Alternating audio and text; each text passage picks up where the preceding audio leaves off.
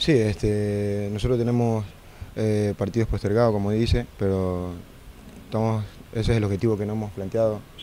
En la pretemporada nos planteamos ganar la etapa y esperemos que, Dios nos, dé esa bendición.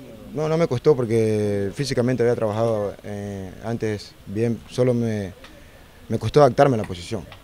Pero el ida y vuelta lo, lo gané también aquí eh, en la pretemporada y esperemos que, que, que siga así tratar de subir el, el, el nivel de juego. Bueno, él nos da una función, pero bueno, nosotros somos los que mandamos dentro del campo de juego y bueno, ahí estamos con Roja, Roja por la izquierda y yo por la derecha y bueno, cuando se da la oportunidad de cambiarnos hay que cambiarla, ¿no? Los partidos son difíciles, todos los partidos no son los mismos, ¿no? Ellos van a salir con todo, ellos, tienen, ellos quieren ganar igual que nosotros y va a ser un lindo partido, pues nosotros estamos mentalizados en los tres puntos, ¿no? Les dije, todos estamos preparados para jugar, eh, gracias a Dios mis compañeros están en la selección, eh, un orgullo para todos, ¿no?